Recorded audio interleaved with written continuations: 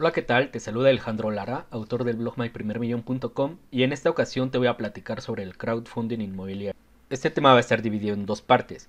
En la primera parte me voy a enfocar en las personas que son totalmente nuevas en el tema. En la segunda parte es tal vez para gente que ya invierte y que sigue preguntándose cómo elijo el proyecto que, es, que se adecua mejor a mi perfil de inversionista. Les platico rápidamente cómo está distribuido mi portafolio de inversión actualmente. Podemos verlo aquí en M2Crowd eh, y en Inverspot es donde tengo la mayor parte de mis activos actualmente y no significa que sean las mejores plataformas.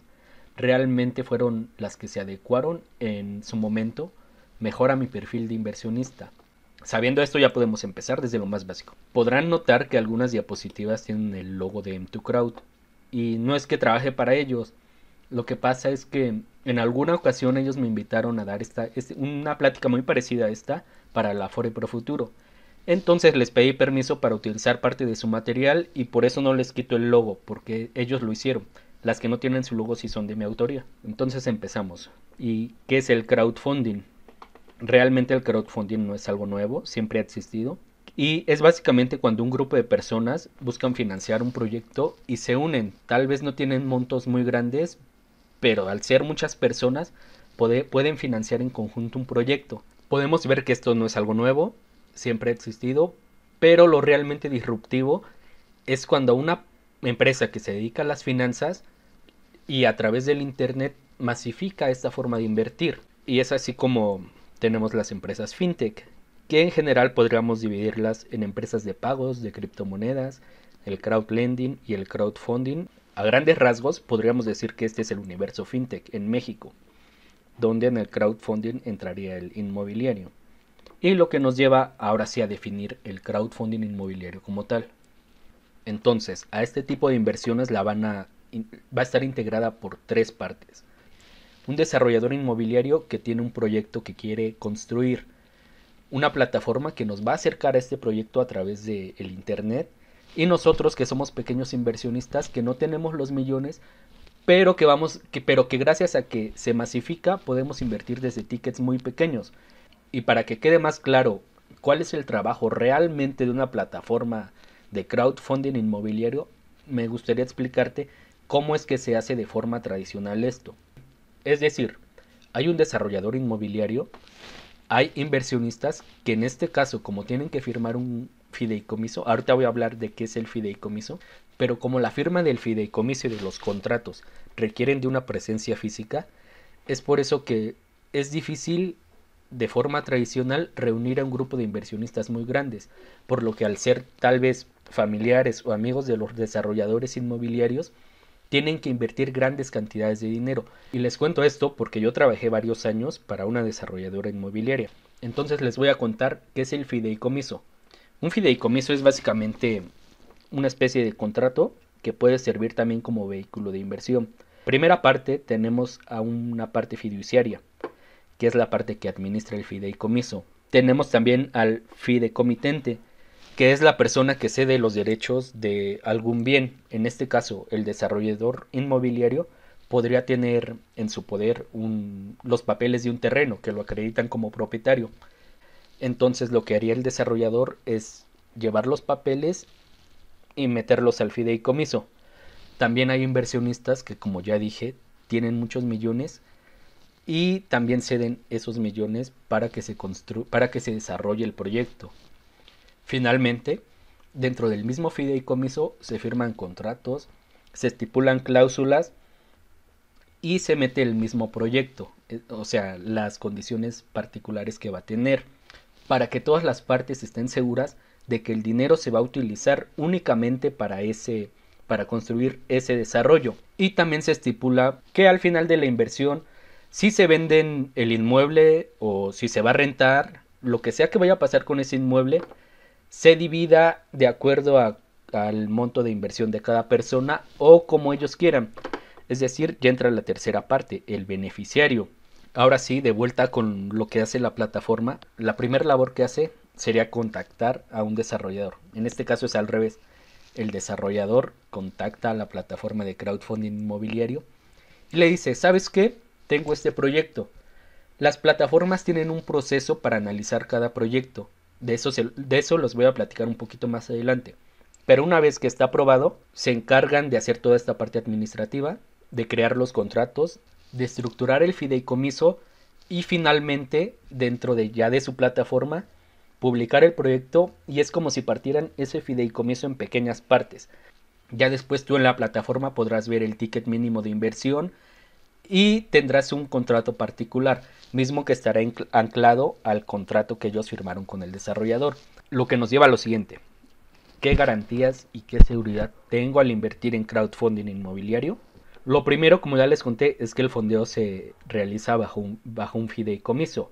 Es decir, al momento tú de hacer tu inversión no se la vas a dar a la empresa, vas a depositar dentro de un fideicomiso. Esa sería la primera garantía, cuentas separadas. Lo siguiente, generalmente te entregan un recibo por tu inversión, una, una fe de hechos, los contratos y todo eso lo vas a poder ver dentro de tu plataforma. Finalmente, cada empresa te retendrá los impuestos que tengas que pagar por tu inversión y aquí no tienes que preocuparte porque normalmente esa retención se puede considerar como tu pago definitivo de impuestos. Y lo que es la garantía más importante, el mismo inmueble. Me parece que hasta este punto ya está quedando muy claro porque este tipo de inversiones es mi favorita y por qué ofrece tanta seguridad. Adicionalmente de que estás invirtiendo en la economía real de nuestro país, estás invirtiendo en un bien que va a generar trabajos, que le va a servir como hogar a una familia y esto poco a poco nos va llevando a, la plataforma, a hablar de las plataformas de inversión. Y antes de pasar a eso, voy a explicarte los esquemas de inversión en los que puedes invertir. Es decir, así como una persona puede invertir en bienes raíces comprando el departamento o rentándolo, nosotros también vamos a poder invertir de diferentes formas. En tres esencialmente. En el esquema de deuda, en el esquema equity y en el renting. En el esquema de deuda, básicamente, eh, tú le estás prestando dinero al desarrollador para que construya su proyecto.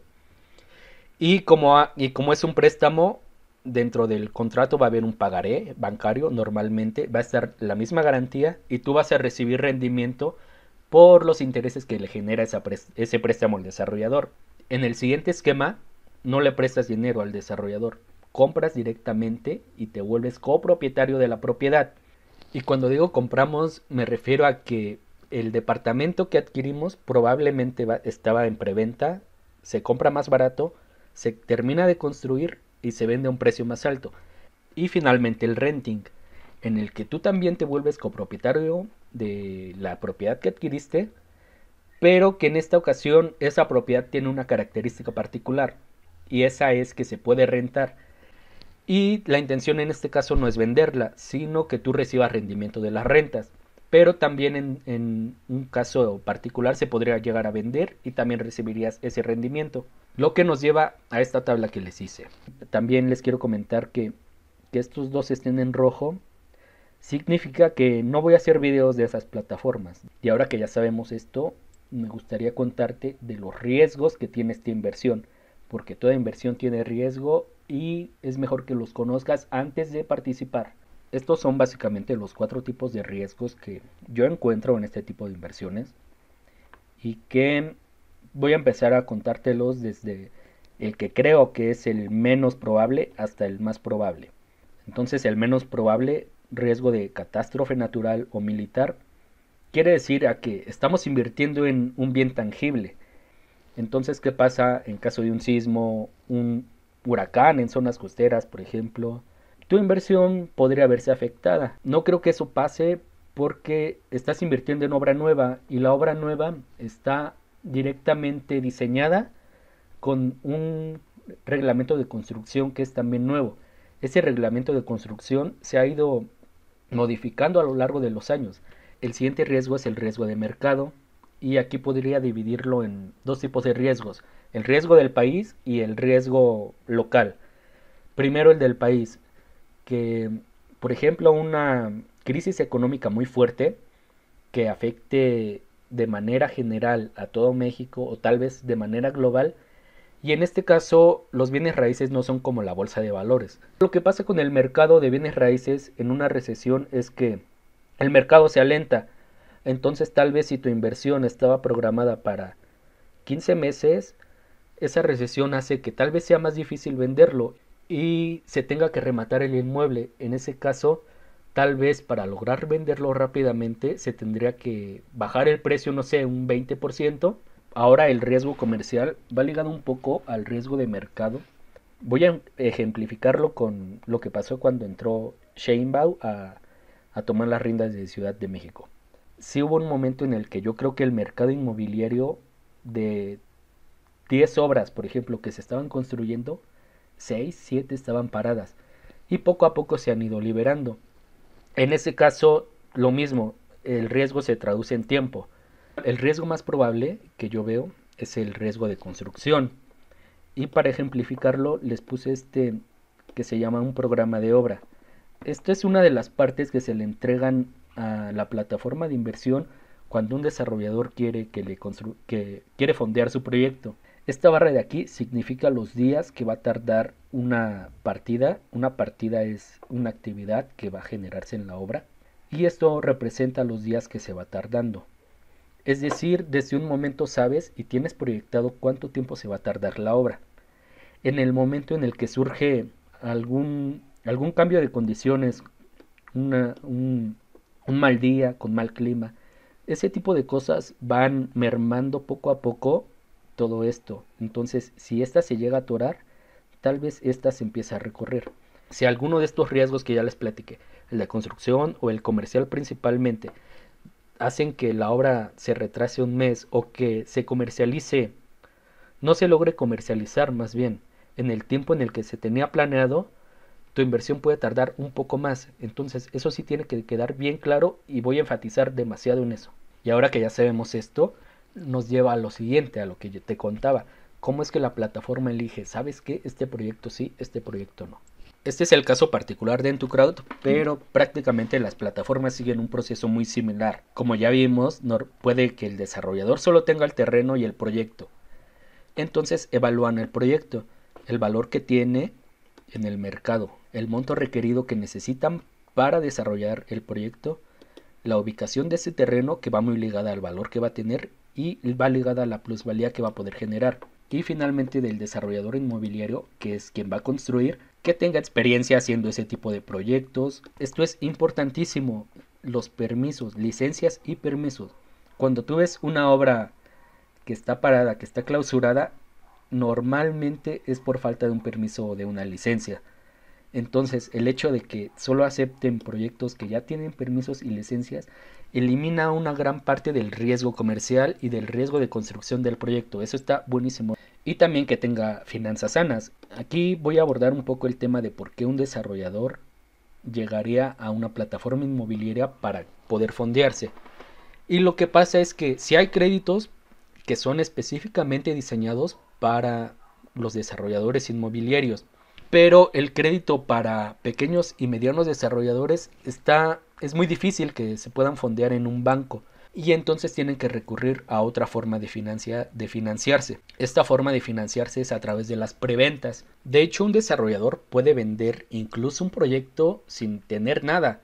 Podría tener solo un render, que es una de estas imágenes que vemos bien padres, hechas por computadora, que no es el edificio real, y decirle a la gente, yo voy a construir esta cosa en este terreno, pero como se está construyendo, te voy a hacer un descuento del 30%, 35%.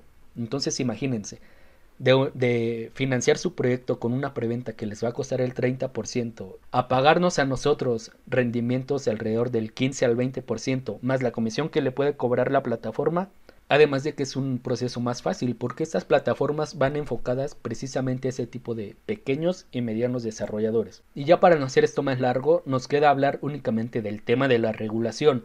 Después de todo estamos invirtiendo. Las inversiones que tú hagas siempre tienen que estar reguladas por la Comisión Nacional Bancaria de Valores, supervisadas por la Conducef. Hay algunas que tienen el Fondo de Protección del IPAF y la respuesta a si está regulado o no el crowdfunding inmobiliario es no, pero está en proceso de regulación. Y no es que sea una actividad ilegal, es que como en todos los casos donde se hace algo disruptivo, eh, la innovación llega antes de la regulación. Y te voy a platicar de lo que es la FICO, que es la organización a través de las cuales este tipo de plataformas están manteniendo pláticas con Comisión Nacional Bancaria y de Valores. Aclarar también que la ley que va a regular este tipo de actividades se llama la ley FinTech, que ya salió. Muchas de esas plataformas ya hicieron su solicitud para ser reguladas bajo esta ley y las plataformas que no hicieron esa solicitud no pueden operar, no inviertas en ellas, es ilegal y tu dinero puede estar en riesgo. Y finalmente, hablando del crowdfunding inmobiliario en específico, me voy a ir a un país en el que este tema ya está regulado para que veas cómo se ve una plataforma de allá. Esta es propertypartner.co, que es una plataforma del Reino Unido. Lo primero que notamos, bueno, al menos yo, es que hay una nota que nos dice capital en riesgo, por favor, lee los riesgos claros antes de los riesgos claves antes de invertir. Podemos ver aquí que está regulada por la Financial Conduct Authority que me imagino que es la equivalente a la Comisión Nacional Bancaria de Valores para el Reino Unido. Podemos ver también una gráfica que nos muestra la comparación entre el UK, entre las propiedades residenciales del Reino Unido contra la bolsa del mismo país. Podemos ver que las residenciales han sido más redituables para los inversionistas de allá. Y lo que quiero que noten es esta nota de hasta abajo, porque es algo que les hace bastante ruido a muchos inversionistas nuevos o incluso a algunos que ya tenemos tiempo invertido, porque este tipo de notas las empezaron a poner las plataformas mexicanas recientemente a través de la publicación de esta ley. Capital en riesgo, siempre te dicen que tu capital está en riesgo. Y mm, ¿cuál está interesante? Esta de aquí que dice que los rendimientos, bueno, en la, la traducción mexicana yo la he visto en fondos de inversión, en la bolsa y también en casas de bolsa, es que los rendimientos pasados no garantizan rendimientos futuros. Es como en todo, nadie va a cuidar tu dinero mejor que tú. Tienes que conocer los riesgos y te los tienen que decir cuando inviertes. No significa que una plataforma se desentienda. Y en este caso te recomiendo bastante que cheques también el blog de Brick porque tiene un artículo muy interesante que habla precisamente sobre la situación actual de esta regulación y cómo es que va avanzando este tema. Ya para terminar te voy a mostrar de forma general un pantallazo de cada una de mis plataformas por si tú decides invertir y te quieres registrar desde mi link de afiliado. De este modo cada plataforma me paga una pequeña comisión. Si me quieres ayudar te lo agradezco. Y te recuerdo que voy a hacer un video específico de cada una de esas plataformas más adelante. Entonces voy a empezar con Inverspot, que aquí invertí en el proyecto Bosque 61. Si eres ciudad de, Ciudad de México, o también si no, busca en Google Maps Avenida Bosque 61 y es este edificio de aquí. En M2 Crowd tengo más. Eh, tengo esta cantidad invertida en este número de proyectos que vemos aquí. Son bastantes ya. Ahí ya tengo como 11 creo. Y uno que ya terminó, ya concluyó satisfactoriamente. Y que reinvertí todo lo que me pagaron. En Brick también nada más tengo uno. Que fue Ancares Residencial en la campaña 1. En Expansive, bueno, uno inicia sesión. Siempre me cuesta iniciar sesión aquí, no sé por qué. Pero vemos a PM2 donde tengo Invertí en Wander Valle de, Valle de Bravo, solo 100 pesos. Sobre esta plataforma les repito que no voy a hacer un video porque no me termina de agradar. Ya pude iniciar sesión, les repito que en esta plataforma siempre me cuesta trabajo, no sé por qué. Y aquí invertí en Aguascalientes 69 V2. Pues bueno, eso es todo para esta primera parte. Te recuerdo que puedes checar el blog, te voy a dejar todo en la descripción. Ya tengo un artículo escrito sobre bastantes plataformas en donde comparto mi cuenta, criterios de inversión, la estrategia para que inviertas, así que si ya inviertes o tienes intención de invertir en alguna otra plataforma, puedes hacerlo y muchas gracias.